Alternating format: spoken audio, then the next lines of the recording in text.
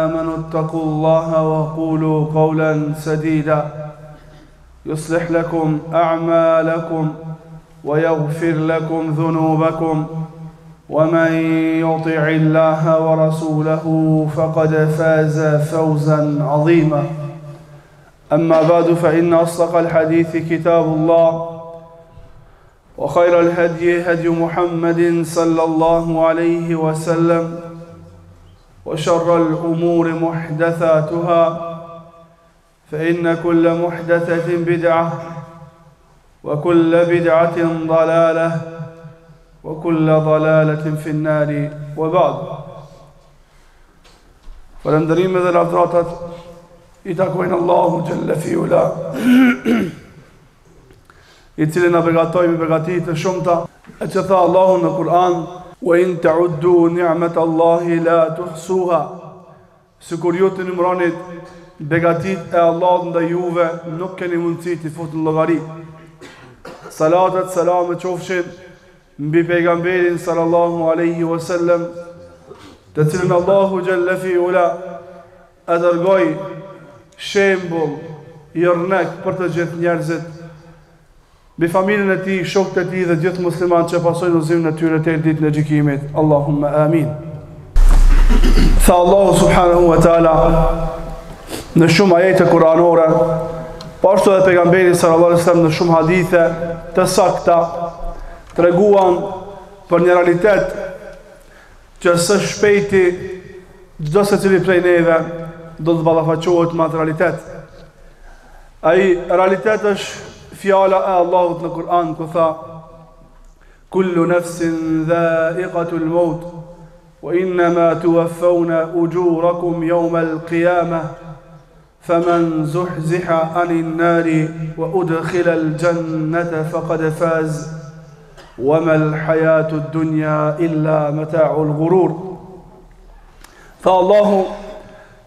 Secili prej juve do ta shijon vdekjen pa përjashtim.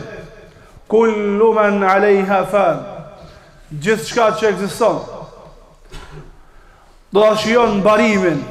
Wa yabqa wajhu rabbika dhul jalali wal ikram. Edhe do të mbet vetëm Zoti jot, dhe do të mbet vetëm fytyra e Zotit tot tan të lartë. Secili prej neve do ta shijon vdekjen, gjithçka pos Allahut do ta shijon përfundimin, pos disa sendeve që i ka veçu Allahu subhanehu ve teala, si xhenneti, xhehenemi, Arshi i Allahut subhanehu ve teala.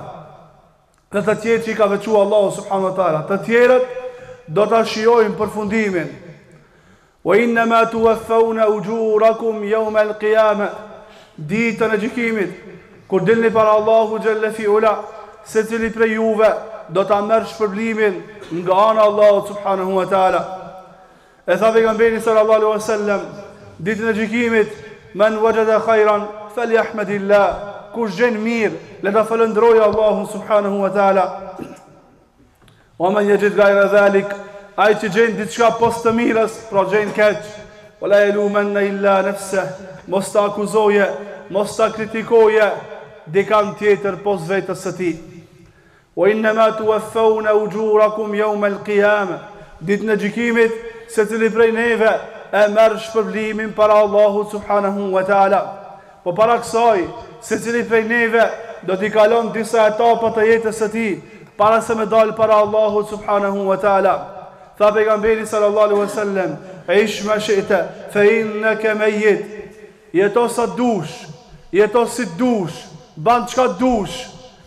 Inneke mejit, ti ki me dek. Vepro çka dush, po ti me të vërtet ke me u shpërbly te Allahu subhanahu wa ta'ala. Duje kan ta dush, ama dije se një ditë prej ditëve, do t'i thosh lamtumirë. Çka dush ban, qysh dush jeto, kan dush duje, çka dush vepro, ama një ditë ki me dek. Një ditë, ke me i thonë ditën e mirë, një ditë do të përshëndetesh me secilin, do të mbetë vetëm vepra jote. E në qoftë se gjen mirë, falënderoje Allahun xhelle fi ula. E në qoftë se gjen keq, mos e akuzo dikand tjetër pos vetes tande. Kjo është procedurë. Kjo është një takim me disa krijesa të Allahut subhanahu wa taala, për të cilën na ka premtu Allahu xhalla fi ula. Wala yukhlifu Allahu al-mi'ad. E Allahu nuk e then premtimin e tina. Pra Allahu subhanahu wa taala na tregoi neve Dhe Pejgamberi sallallahu alejhi ve sellem na tregoi neve që shumë shpejt do të vjen momenti kur ne të ballafaqohemi me melekun e vdekjes dhe t'ja japim emanetin, t'ja japim atë që është ma i shtrejtë për neve, t'ja dorëzojmë Allahut subhanehu ve teala. Pastaj, Ditën e Gjykimit, Allahu xhelle fi ula na jep neve atë të cilën e kemi vepru në këtë dunja. Pasi të ndodhë llogaria, pasi të ndodhë polemika dhe pastaj llogaria, Allahu subhanehu wa taala, që t'i qetëson njerëzit, që t'ua ngrit argumentin edhe njëherë njerëzve, ua jep librin, dikujna nga e majta, e dikujna nga e djatha, dhe nga para, dikujna nga e majta dhe nga mbrapa. E gjithë këto që t'ua vërteton se gjykimi i Allahut subhanehu ve teala ka qen i vërtetë, se gjykimi i Allahut subhanehu ve teala ka qen i drejtë, dhe Allahu ua jep librin, dhe Allahu na jep librin secilit prej neve, dhe na thotë, A mos të është ba zullum? A mos të është ba padrejtësi në këtë moment? Thotë njeriu, jo, ja Rab. Jo, ja Rab, s'ke bo padrejtësi. S'ke bo padrejtësi, se të gjitha janë të shënuara. Ma yalfidhu min qawlin illa ladayhi raqibun atid, tha Allahu në suren Qaf. E njeriu nuk e shpreh, nuk e thotë një fjalë vetëm se afër tij ka një vëzhgues preciz i cili i merr të dhanat. Një vëzhgues Preciz, i cili nuk harron, të cilit nuk i ik asgjë çka na veprojmë. Rakibun Atid, vëzhgues, si vëzhgimi i dikujt prej neve në punë të kësaj dunjaje. Mirëpo, dallimi i madh mes vëzhgimit dhe vëzhgimit. Pra kjo është një realitet që na nuk mundemi me i ik dhe na çdo hap, çdo ditë, çdo minutë që kalon nga jeta jonë, na afrohemi drejt këtij realiteti. Vdekja po na pret neve. Ne jemi nis drejt vdekjes. Për këtë vdekje duhet pregaditje, Për këtë vdekje duhet pregaditet çdo secili prej neve. Për shkak se çastet e vdekjes janë të rënda për të gjithë njerëzit pos shehidit në rrugën e Allahut subhanahu wa taala. I vetmi që e ka leht momentin kur e jep shpirtin është shehidi fi sabilillah. Të tjerët e shijojnë shtrëngimin e vdekjes. Të tjerët e shijojnë rëndësinë e vdekjes, edhe Pejgamberi sallallahu alejhi ve sellem tha inna lil mauti la sakarat, me të vërtetë vdekja i ka agonitë e saja, i ka rëndësitë e saja, vështirësitë e saja. Pos shehidit fi sebilillah, që tha Pejgamberi sallallahu alejhi ve sellem, që në ballafaqimin e parë Në plagën e parë, pikën e parë të gjakut, i falen mëkatet, e sheh vendin e vet në xhennet, kur t'i del shpirti, i del shpirti sikur me e kafshu një mushkojë. Shumë e lehtë. Shumë e mirë. Një vdekje e mirë, një vdekje e lehtë, e vdekjet tjera, të gjitha janë të rënda. Allahu xhel-le fi ula për këtë vdekje Na ka lanë një jetë të tërë të pregaditemi. Për këtë çast, për këtë moment, Allahu na ka lanë një jetë të tërë. Dikujt ma shumë e dikujt ma pak. E mesatarja e ummetit Pejgamberit sallallahu alaihi wasallam 60 deri në 70 vite. 60 deri në 70 vite. Allahu na ka lënë neve afat pregaditemi. Të pregaditemi për këtë moment. Ne edhe sot, për punë të kësaj dunjaje, kërkojmë prej njerëzve që të na japin afat një, dy apo tre ditë, që të pregaditemi t'i marrim sebepet. Nuk na duhen ma shumë. Bile dikujt na i duhen shumë ma pak. Për tejkalimin e ndonjë sprove të kësaj dunjaje, mirëpo sprovën e vdekjes, Allahu subhanu e teala na ka lënë neve afat gjashtëdhjetë deri në shtatëdhjetë vite, dikush ma shumë, dikush ma pak, kjo është përqindja e ummetit të Pejgamberit sallallahu alejhi ve sellem, gjashtëdhjetë vite, pesëdhjetë vite, katërdhjetë vite pregaditje, Pregaditje për ballafaqimin ma të randë që ka mundësi njeriu të ballafaqohet ndonjëherë. Saqë kur i thanë Othman ibn Affanit, ia përmendshin vdekjen dhe natën e varrit, fillonte me qajtë shumë, shumë, shumë. Dhe i thonin, O Othman, çka o puna jote, po e përmendim Xhennetin, Xhehennemin, Ditën e Gjykimit, takimin me Allahun. Llogaria. Sfidat e kësaj dunjaje, kur ta përmendim vdekjen, ti nuk ndalesh, tha me të vërtetë, vdekja dhe nata e varrit është stacioni i parë i ahiretit. Vdekja është stacioni i parë.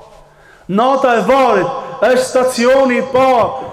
Në qoftë se aty kalon mirë, tutje rruga është ma mirë.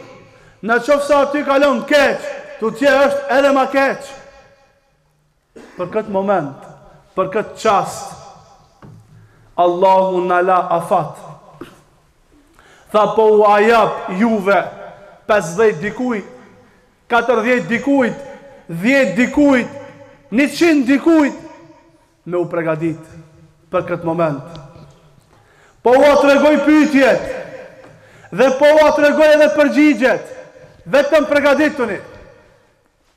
Tha pejgamberi sallallahu alaihi wasallam se kur njeriun ta lëshojnë në varr dhe ta mbulojnë dhe kur të fillojnë njerëzit me u largue i vdekuri i posavorrosuri i dëgjon nallet largimin e njerëzve dhe shijon vetminë në këto momente i vijnë dy melek E marrin në pyetje dhe ia parashtrojnë tre pyetje. Kush është Zoti jot? Kush është pejgamberi jot? Dhe kush është cila është feja jote? Tre pyetje. Mbani mend. Ta dim secili prej neve, se këto tre pyetje i kemi në varr. Aty ku do të na lonë vetë.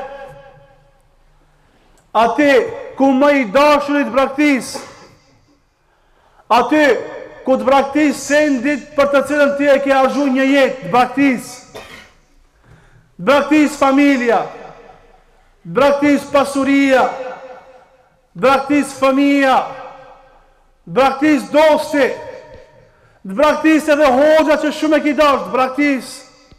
Të gjithë të braktisin dhe jet veç vetë në këto momente vijnë melekë dhe i bëjnë tre pyetje Allahu na tregoi pyetjet kush është Zoti jot kush është pejgamberi jot dhe kush është cila është feja jote tre pyetje Dhe për këto tre pyetje, Allahu zbriti Kur'anin, dërgoi pejgamberët, që nga Nuhi alejhi selam deri te pejgamberi sallallahu alejhi ve sellem. Për këto tre pyetje, Allahu e mur mbi veti ta run Kur'anin, fjalën që e zbriti Allahu subhanahu wa taala, që të jenë të qarta këto tre pyetje. Inna nahnu nazzalna dhikra wa inna lahu lahafizun.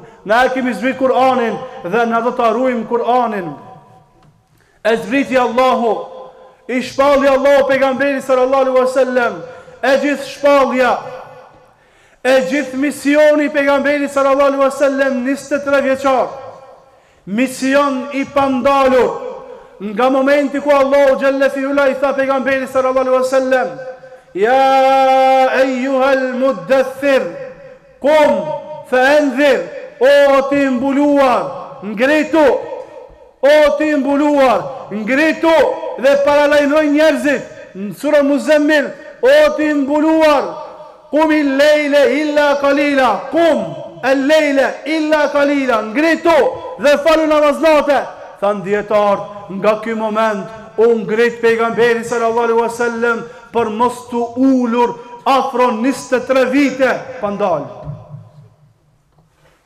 Allahu i tha ngritu, u ngrit dhe nuk u ul njëzet e tre vjet. Nuk pushoi njëzet e tre vjet. Nuk u rahatu njëzet e tre vjet. Nuk e jetoi jetën për veten dhe familjen e tij njëzet e tre vjet. Njëzet e tre vjet. Ngritje, njëzet e tre vjet, përpjekje, lodhje, rraskapitje, ballafaqim, xhihad me të gjitha llojet e xhihadit për ta ngritë fjalën e Allahut subhanehu ue teala, e gjithë ky mision kthehet në tre sende, kush është Zoti jot, kush është pejgamberi jot, cila është feja jote. I gjithë misioni. për këto tre pyetje. Dikush mendon që këto tre pyetje janë të lehta, vallahi nuk janë të lehta. Se i harxhoi Rasulullah sallallahu alaihi wasallam 23 vite. 23 vite pa ndal për këto tre pyetje. Krejt legjislacioni islam këtu sillet në tre pyetje. Krejt misioni i pejgamberëve këtu sillet në tre pyetje. Misioni i Nuhit alayhis salam. I cili mision zgjati 950 vite. u sillte rreth këtyre tre pyetjeve, Kush është Zoti jot? Kush është pejgamberi jot?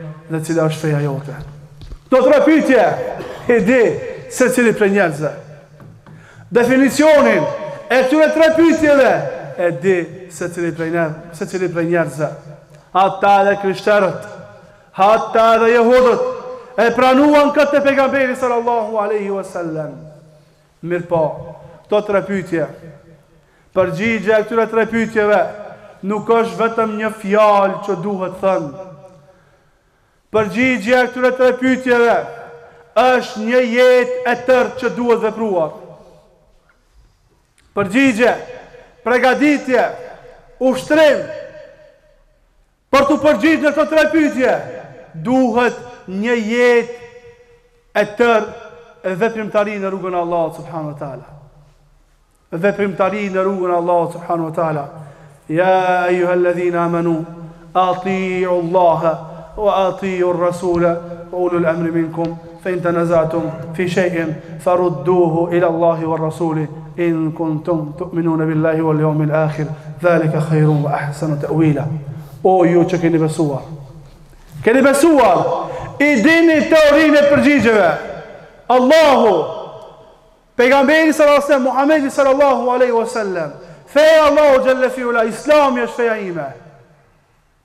O ju që keni besuar, o ju që i mësut këto përgjigje në teorinë tuaj, Ati'u Allahe wa Ati'u Rasul, Nënshtrojeni Allahut dhe nënshtrojeni të dërguarit të Allahut, Ulul Emri Minkum, dhe atyre që janë udhëheqës mbi kokat tuaja. E kur të keni polemikë mes veti, kur të keni paqartësi në raportet mes juve, kthehuni te Allahu dhe kthehuni te Pejgamberi sallallahu alejhi ve sellem. në qoftë se jeni prej atyre që besoni në Allahun subhanahu wa taala. Pra Allahu xhalla fi ula na i tregoi këto tre pyetje me një Kur'an.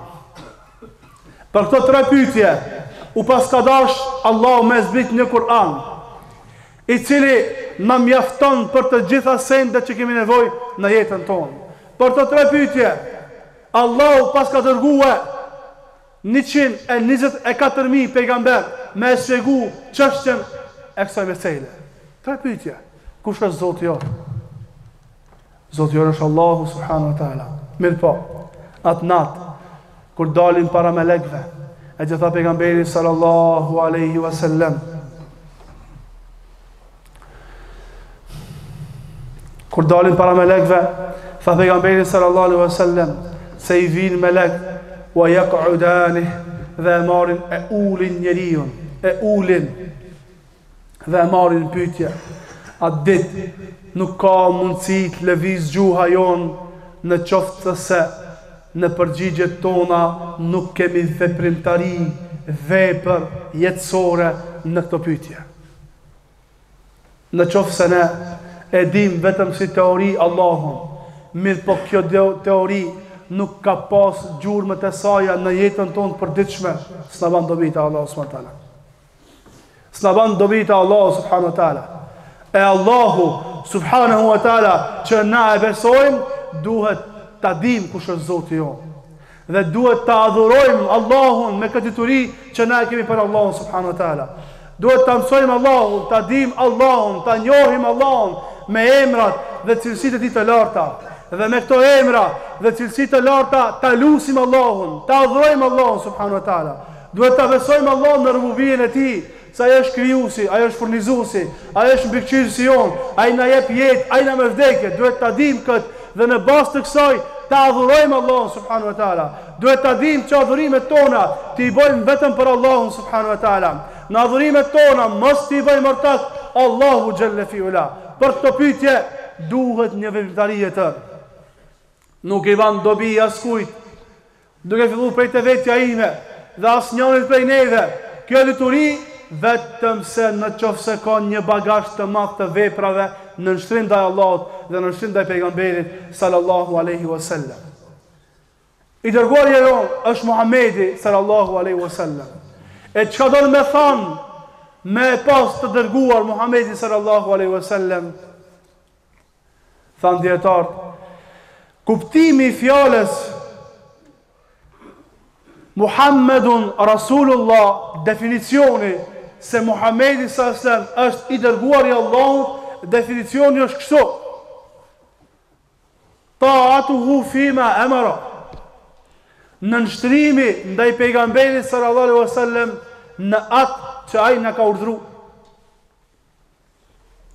Wa tasdiquhu fima akhbara.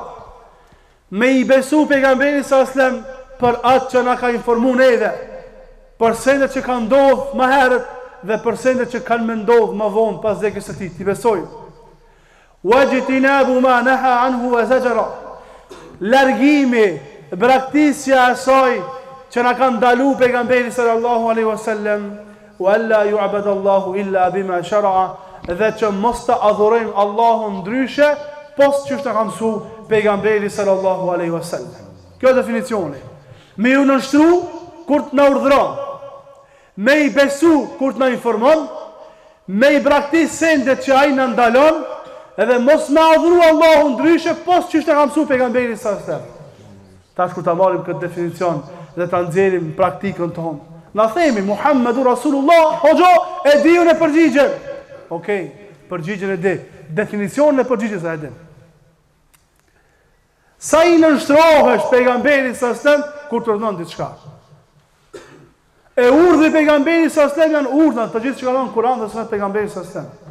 Falja e namazit, agjërimi, zekati, urdhri në të mirë, ndalimi nga e keqja, përmendja e Allahut, na ka urdhëru shumë pejgamberi sallallahu alaihi wasallam. Sa na i besojmë në atë që na ka informu, për sendet që ka ndodh ma herët dhe për atë që ka me ndodh ma vonë. Sa na largohemi prej asaj që na ka ndalu pejgamberi sallallahu alaihi wasallam. Sa largohemi na? Pejgamberi sa selam na ndaloi nga harami. Pejgamberi sa selam na ndaloi nga shikimi në haram, nga dëgjimi në haram, nga prekja në haram, nga ushqimi haram, nga të folurit haram, na ndaloi. Sa na ndalohemi? A, këtu paskemi defekte të mdhaja. Në zbatimin e këtij definicionit të fjalës Muhammedun Rasulullah, paskemi probleme shumë.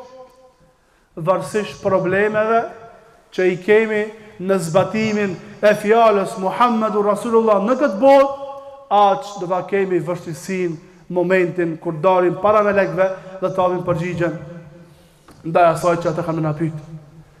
Edhe feja jonë është feja islame. Wa men yabtaghi ghayra al-islami dina falan yuqbala minhu wa huwa fi al-akhirati min al-khasirin. Kush dëshiron fe tjetër pos Islamit, atij nuk do t'i pranohet dhe në ahiret, në botën tjetër do të jetë prej të zhgënjymve. Feja e Allahut subhanahu wa taala, mirëpo kjo fe nuk është veç teoria, se ka prej jobesimtarëve që e dinë mirë këtë fe, megjithatë nuk janë muslimanë. Feja e Allahut subhanu e teala, ky Kur'an dhe hadith që ka ardhur nga ana e pejgamberit sa selam, me këto të dyja ne obligohemi të veprojmë. Ne obligohemi të veprojmë, t'i nënshtrohemi Allahut dhe pejgamberit sallallahu alaihi wasallam që të jetë më lehtë përgjigja kur dalim